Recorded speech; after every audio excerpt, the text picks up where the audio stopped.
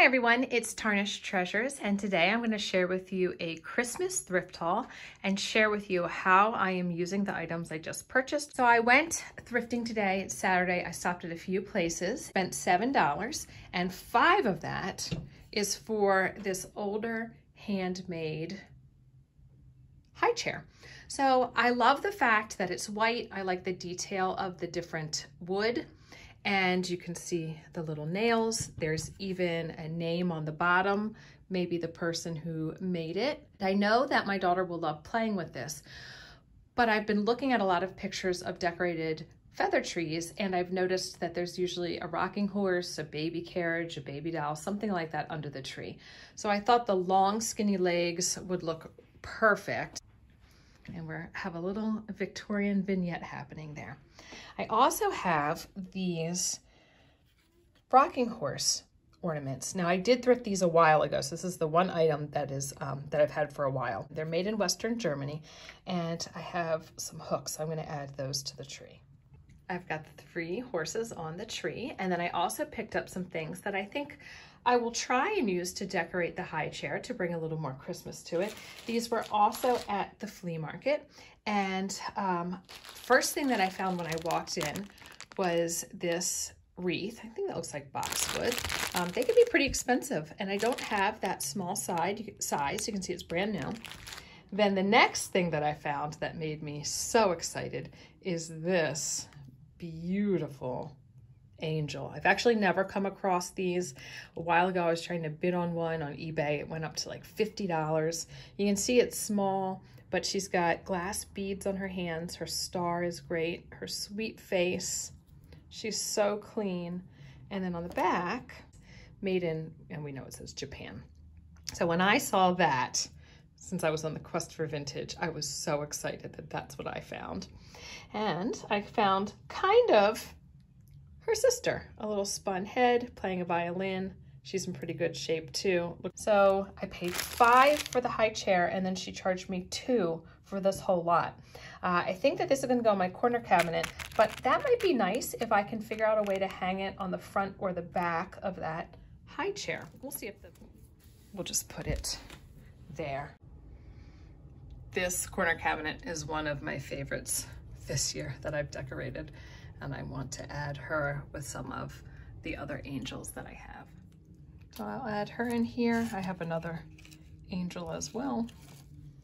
My next finds were from a collectible and antique store. It was uh, small but very cute and clean. They had nice little displays. I love this Rudolph deer. Um, he is my sixth. I'm adding him to my collection.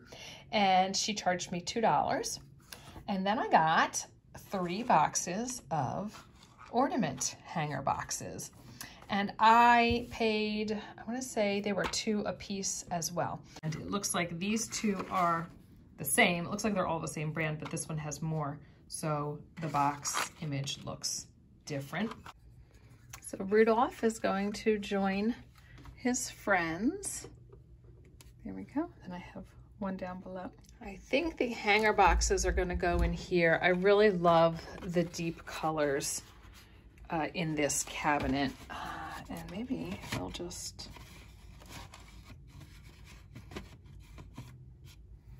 kind of go there for now. I'm, i might try and think of something better to do. I'm gonna try and think of something better to do. This last group of items I paid $15 for.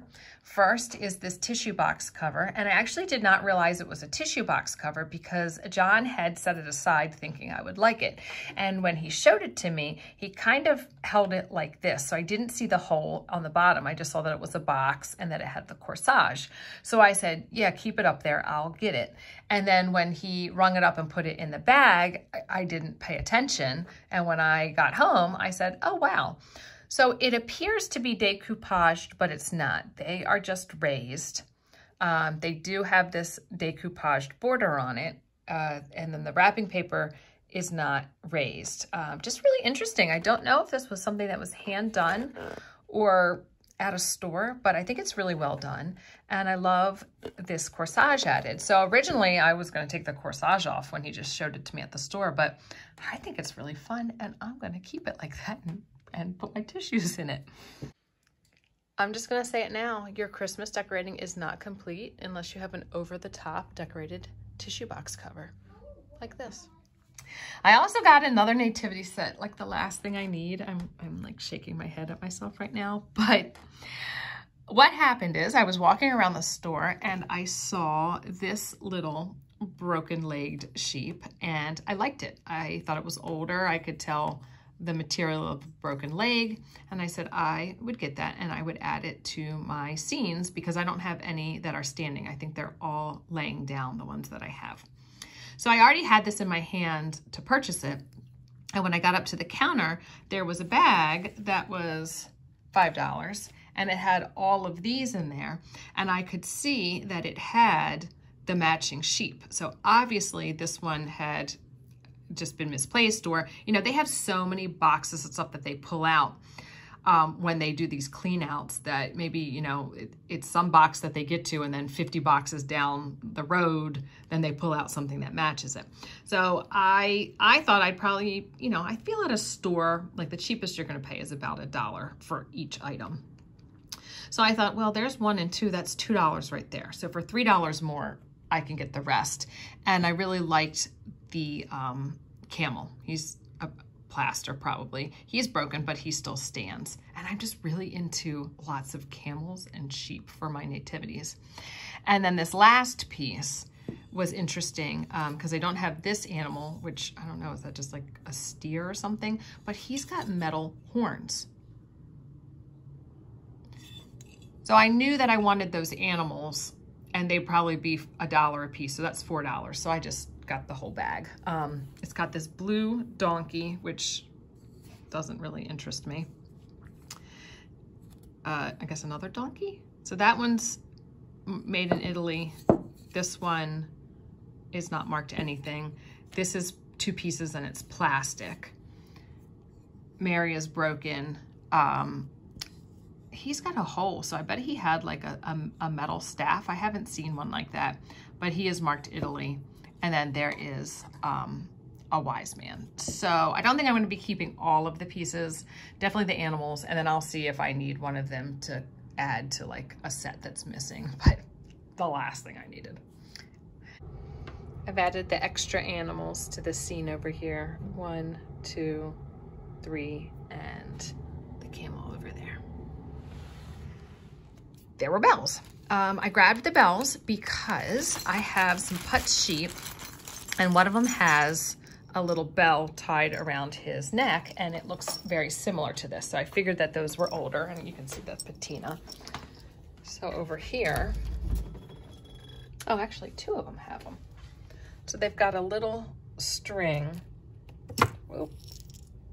Sorry. So I thought that would be nice to add to my third sheep that doesn't have one and just to have them for crafting. Also on my Rudolph, one Rudolph that I purchased, I think it was actually maybe one of my first, has a little bit of twine and it had a bell that was added and I really thought that was nice. So I think I'd like to do that too. Not all of them, but a few. I picked up this banner, and the reason why I picked up this banner was for the color. And in Country Living magazine, actually, let me grab This that. is the recent edition. I am in love with this girl's house. And I found her on Instagram, the Little White Farmhouse on Instagram, so you can see her pictures. So what I really loved, well, first of all, look at that arch door there. She's got the sleds. Look at that. I mean,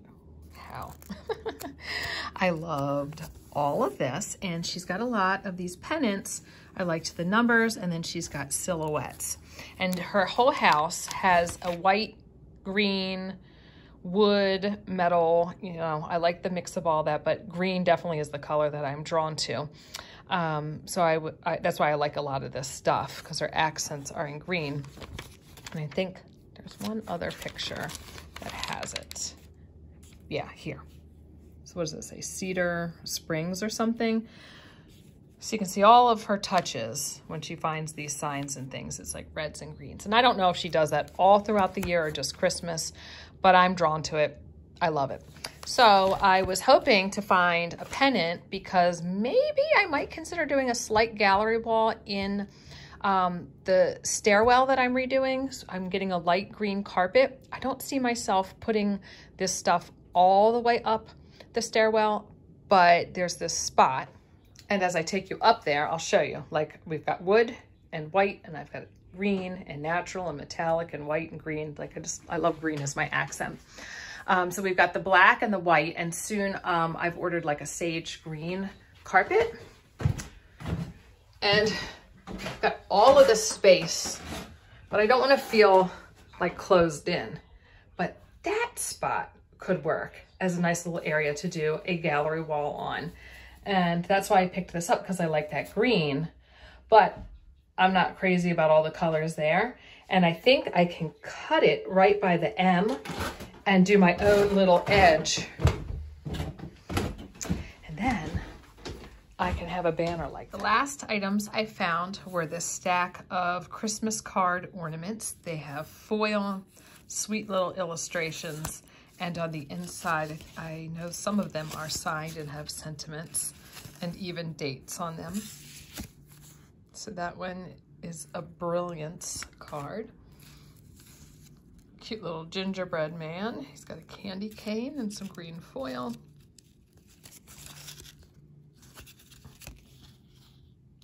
Brilliance.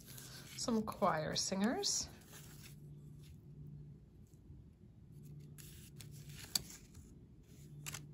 And this one I think is my favorite, the little snowman. he has like an actual head shape. You take off the top hat and there's a little bit of darkened glitter. I'd be as happy as I could be if you'd hang me on your Christmas tree. I think that's actually what most of them said when you flipped them up. Yeah, or something like it's an ornament too, you see. Oh, so sweet. That one though, don't know where you would put the hook. You could just loop something through there though. And then another, that's the same. We loved your Christmas picture. Peter, Mark, Amy, and Debbie. Thank you. And then this one had a date in it, or on it.